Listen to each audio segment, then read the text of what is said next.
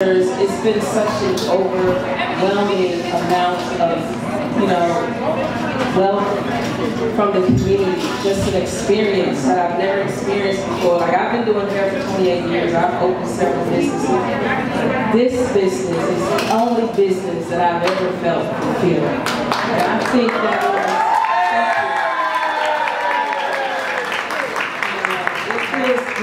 to be able to serve the community to be able to give back and just to be, you know, of service to the community.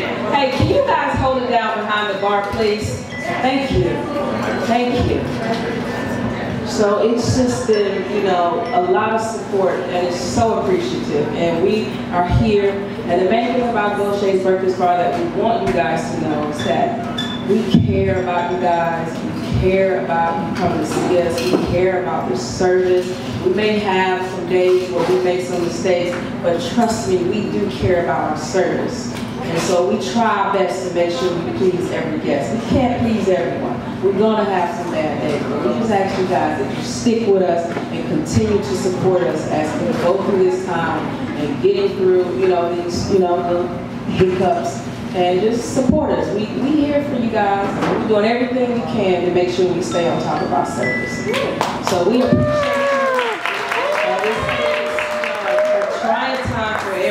You know, it's been a pandemic, it's been a rough year, and you know, we really appreciate you guys came out because this is a lot to ask people to come out in the middle of the pandemic. So we thank you, we appreciate you, we appreciate our team that's here. They've worked tirelessly. Cascade to come over here to Fayetteville work. They're tired, They're working seven days. We try. So, please, we thank you again. And cheers to health, success, wealth, happiness, love, relationship, friendships.